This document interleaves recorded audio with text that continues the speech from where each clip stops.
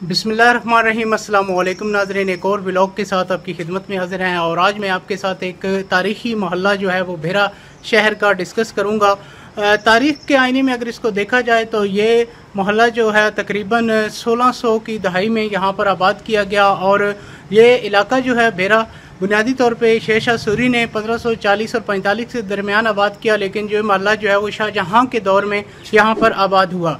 और अभी मैं आपको महल्ले का विज़िट भी करवाता हूँ और आपको महल्ले का जो है, यहाँ तक पहुँचने का असास भी बताता हूँ कि आप कैसे जो है वो इस तारीखी और ख़ूबसूरत जगह को विज़िट कर सकते हैं। तो इसके लिए आपने जो है वो गाय मंडी, जो कि लाहौरी गेट है, वहाँ से इंटर होकर भी आप इस महल्ले तक पहुँच सकते हैं। ये इमाम कोट जो है, वो उसके करीब है या मलकम वाले महल्ला के बिल्कुल करीब है।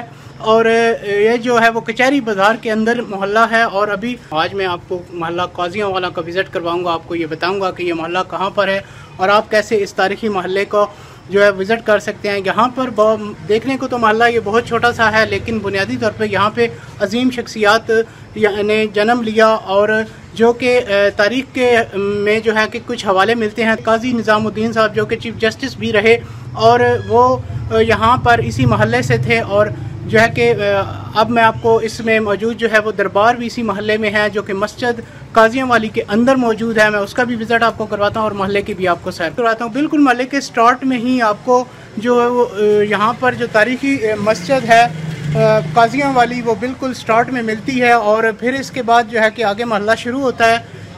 तारीख के आईने में अगर हम बात करें तो तकरीबन पाँच से आठ घरों तक ये मोहल्ला जो था रिकॉर्ड के मुताबिक, लेकिन अभी यहाँ पे जो है कि वो काफ़ी घर आबाद हो चुके हैं तो मैं आपको इस महल्ले का तफसीली विज़िट करवाता हूँ। ये देखें, ये वो काजियों वाली मस्जिद के साथ से ही हम गली में आ रहे हैं और ये एक चौक मुझे मिलता है, वो मैं आपके साथ शेयर कर रहा हूँ। ये देखें, एक तारीखी और पुराना घर भी यहाँ पे हमें मिला है। ये देखें, सिर्फ़ चंद घरों पर मुहित ये मोहल्ला है। सात से आठ घरों पर मुहित है ये मोहल्ला और अभी मैं आपको पूरा मोहल्ला का विज़िट करवा रहा हूँ। बहुत छोटा सा मोहल्ला शायद ये बेहरा के तारीख में अगर हम बात करें या बेहरा के मोहल्लों की अगर हम बात करें तो सबसे छोटे मोहल्लों में इस मोहल्ले का शुमार होता है। और तकरीबन आठ से दस घरों तक ये मोहल्ला जो है और ये मोहल्ला आगे जाके बंद है और ये मोहल्ला मेन बाज़ार, जो कचहरी बाज़ार है, वहीं पे आके, वहीं से इसकी एंट्री और एग्ज़िट है, एक ही पॉइंट पे।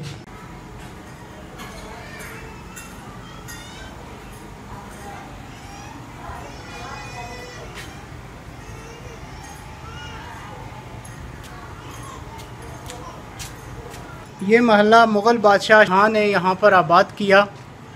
अब देखें, ये तकरीबन आठ से दस घरों पर मुहित ये महल्ला है और बहुत छोटा सा महल्ला जो कि बेरा शहर के छोटे मोहल्लों में इसका शुमार होता है। मैंने आपको पूरा मोहल्ला विज़िट करवाया है। इसी मोहल्ले में दरबार हैं, दो कब्रें हैं, वो मैं आपके साथ शेयर कर रहा हूँ। हज़रत बाबा सैयद जलाल शाह रहमत का दरबार है, वो मैं आपके साथ शेयर कर रहा हूँ और आपको मज़ार शरीफ की ज्यारत भी करवाता हूँ। ये देखें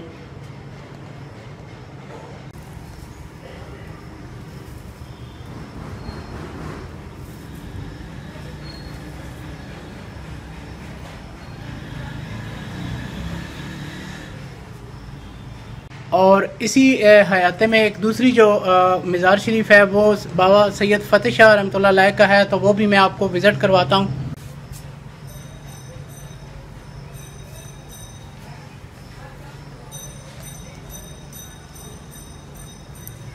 अगर हम तारीख के हवाले से बात करें तो ये दरबार जो है, यहाँ पे मौजूद जो मैं मस्जिद है, काजियों वाली, इसकी जो है वो बुनियाद से पहले ये दरबार यहाँ पर मौजूद था।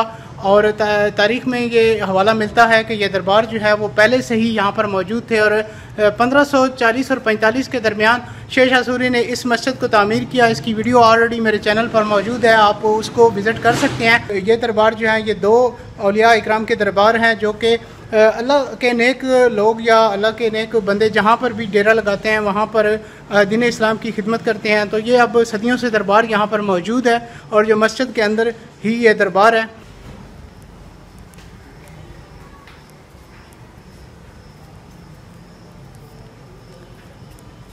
सोलह और सोलह के दौर में जो है वो शाहजहाँ का दौर हुकूमत रहा है और उसी दौर में यह महल्ला भी आबाद किया गया है। अगर आपको वीडियो अच्छी लगे, लाइक और शेयर करें। अपने दोस्तों हल्का अबाब में मिलते हैं फिर किसी नई वीडियो में। अल्लाह हाफिज़।